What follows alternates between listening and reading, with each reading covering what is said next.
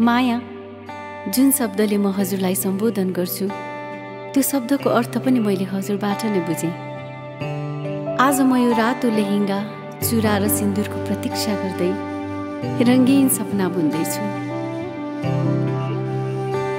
मलाई याद छ ती दिनहरू जब यी सबै कुराहरू सपनामा मात्र सीमित थिए।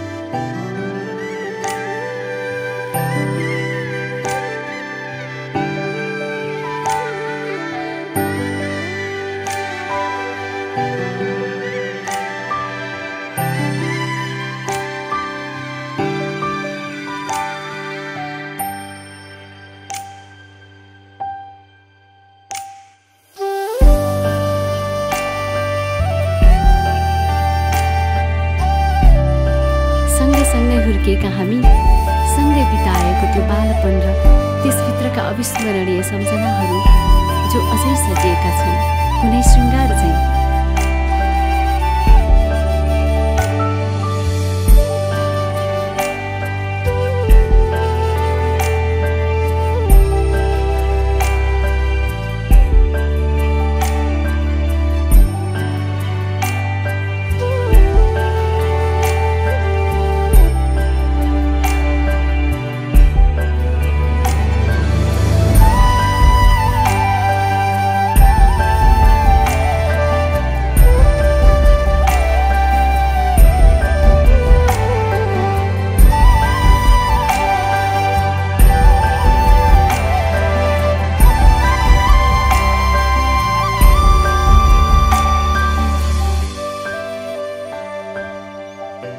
अब आउने हरेक भोलिका दिनमा हजुरको हात थाम्न र साथ दिन हजुरको पवित्र बन्धनमा बाँधिन गइरहेकी छु।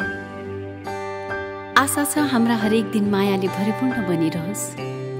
म र हजुरको साथ सदैव रहिरहोस्।